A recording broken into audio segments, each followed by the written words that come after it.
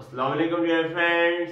After the request to my friends, today in 2020, I am here to explain and telling that how to solve that types or practical or problem of hypothesis testing for difference of sample means for significant case that practical or problem is very very important for you. I will explain that uh, lecture. I will complete that lecture within uh, six steps within six steps that six steps are very very important for you. And so must watch that lecture completed till end and don't skip any step because each step of that lecture is very very important. And last point don't forget to like that video. So let's start the lecture.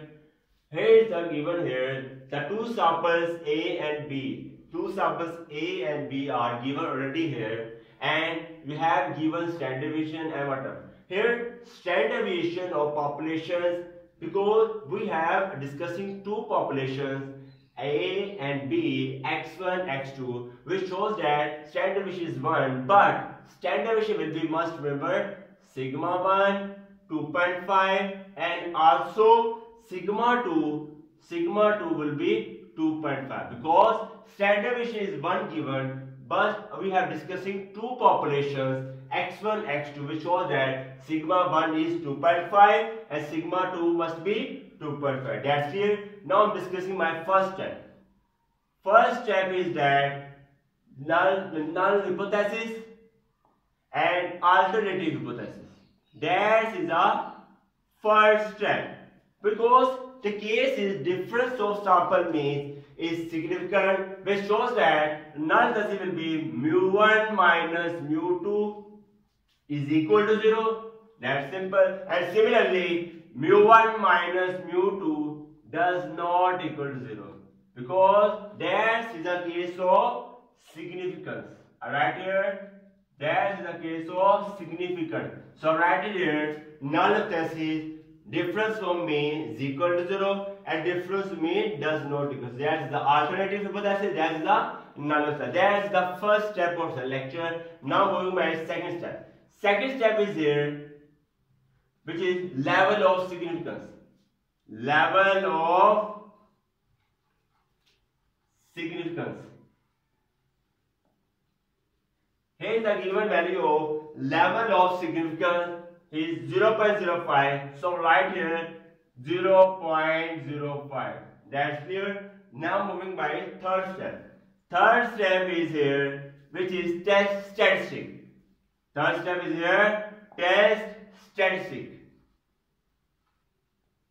I already told you that in my uh, definitions of hypothesis testing, test test is a formula. So here formula we will use here. Z is equal to, I write the value here, Z is equal to x1 bar minus x2 bar, bracket close, that's simple, minus bracket mu1 minus mu2 divided by square root of sigma 1 square divided by n1 plus sigma 2 square divided by n2.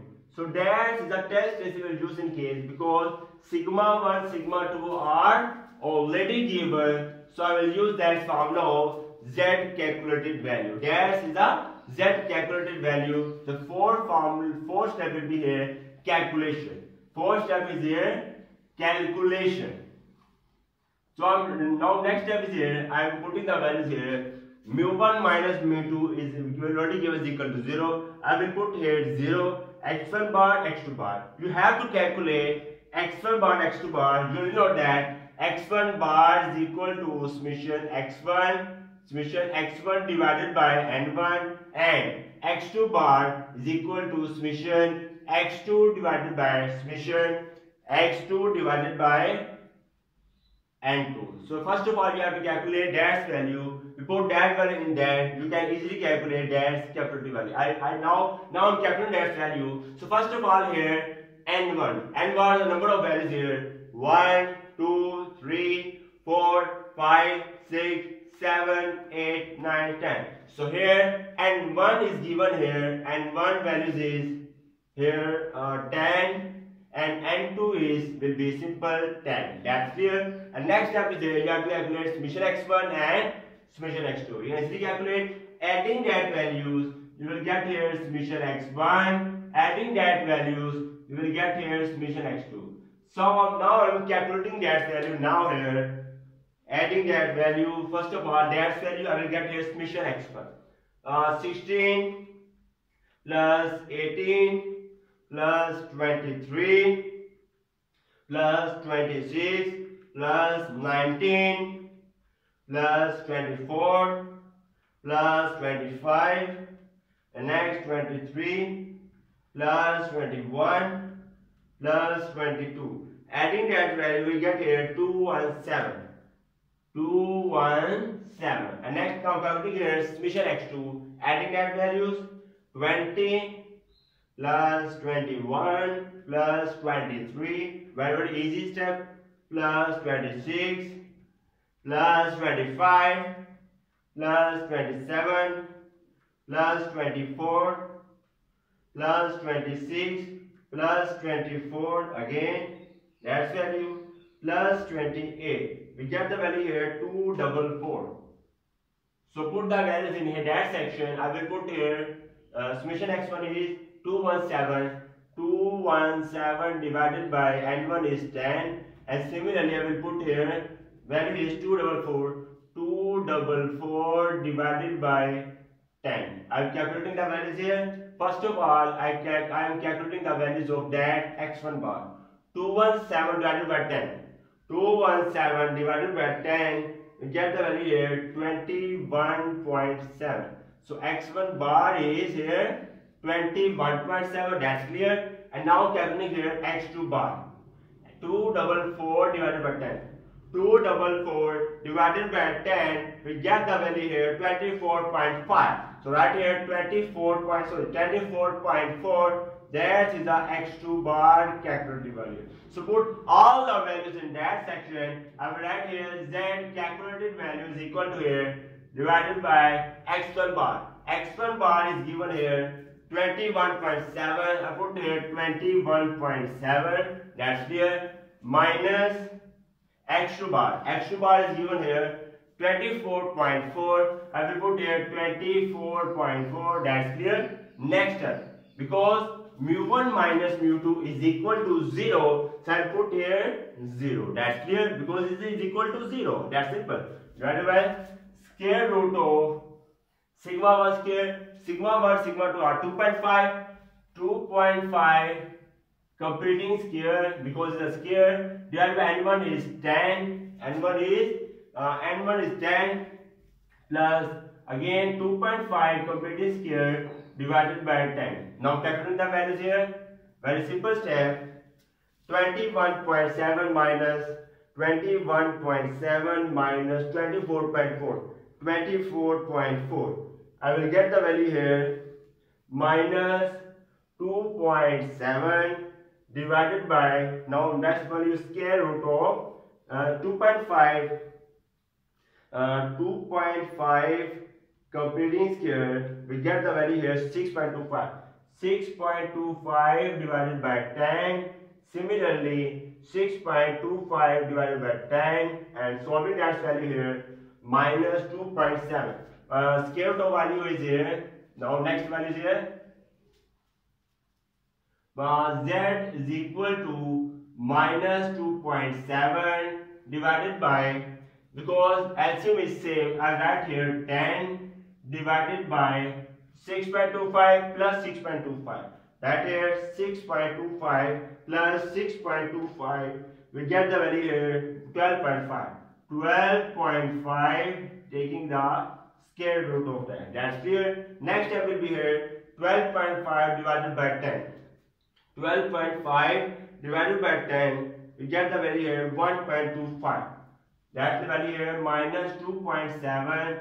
Next, uh, dividing that value, we get here 1.25. Taking square root of that. Taking square root of that, we get the value here 1.1.118. That's clear. And next step will be here 2.7 divided by this 2.7 divided by 1.118 we get the value here uh, 2.5 so z calculated value is here z calculated value is here minus 2.415. So I uh, obtained the value of z calculated value. That is a fourth step. Now remaining two steps which is the main part of that structure. So don't skip that last last steps. Last moving by last steps.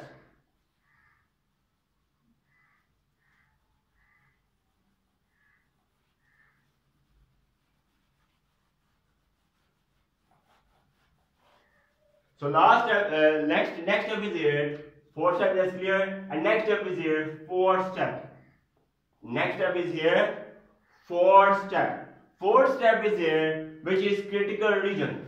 Fourth step is here, which is very very important for you. Critical region.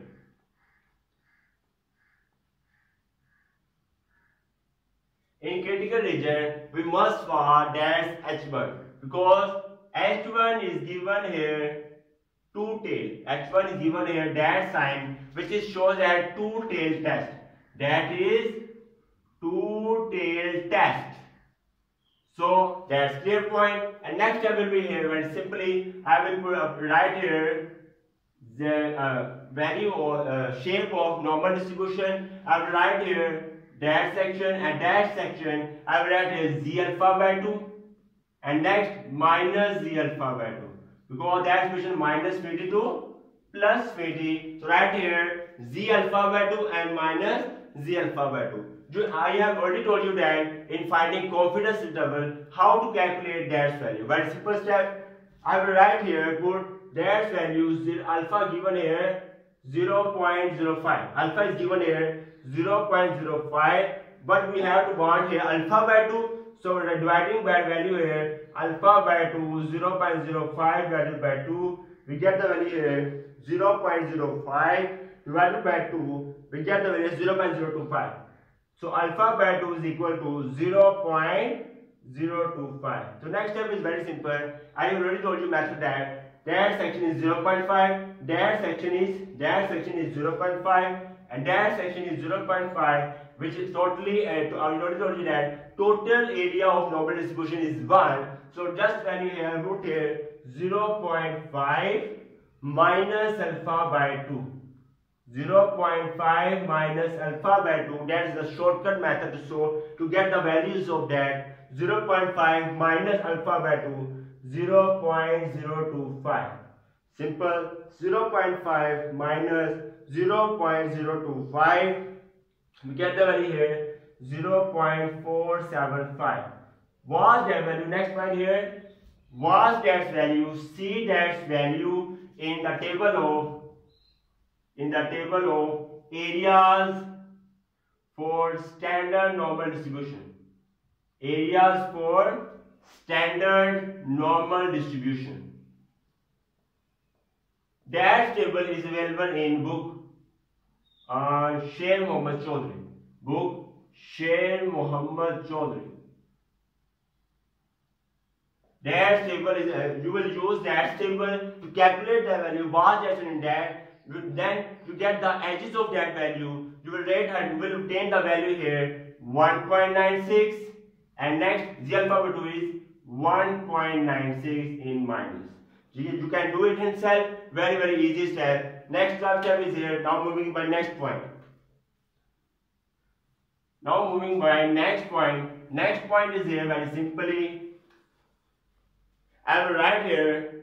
I already told you that that z calculated value must be less than minus z alpha by 2. Must remember which shows that dash case will be rejection. And must remember if z calculated value I will test both sections. That's right because it's a two tail test.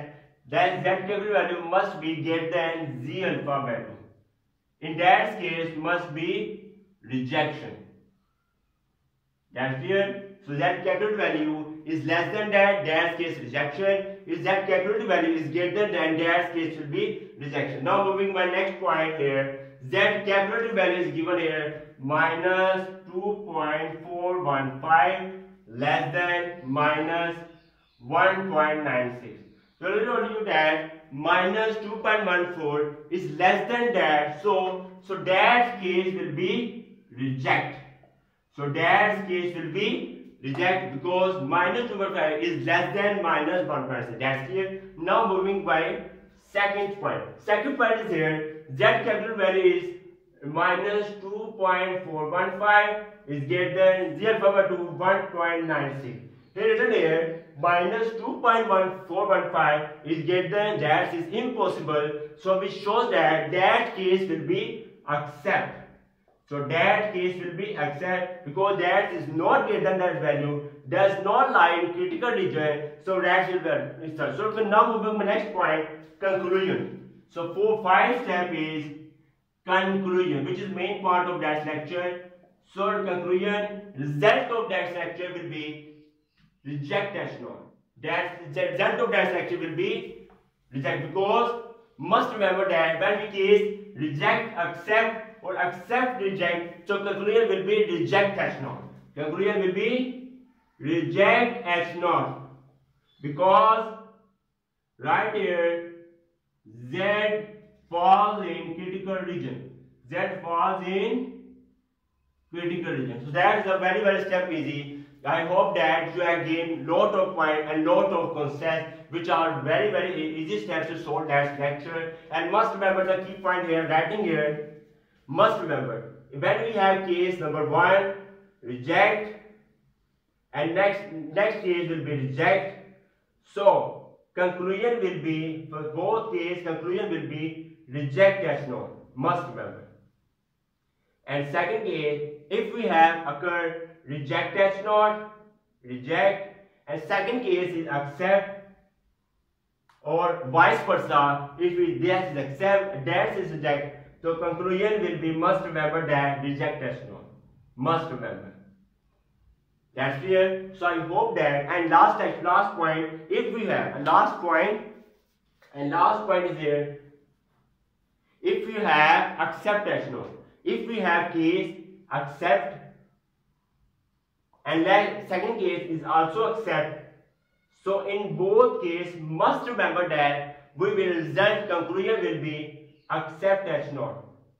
So accept as not will be conclusion or in that case just only and that case will be reject as not. Thanks for watching the video. If you like that video then can you must subscribe to my YouTube channel and must press bell icon button for gaining notification my new lecture and new practical. Goodbye.